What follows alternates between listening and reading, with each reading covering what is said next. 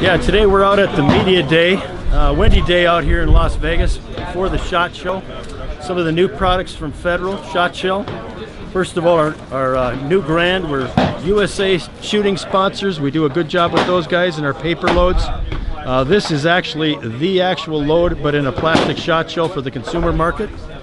Another new thing, we got shorty shot shells small shot shell, um, kind of unique. It's more of a novelty today, but you're seeing a lot of people using those. We have a uh, number eight shot round. We have a slug round and a buckshot.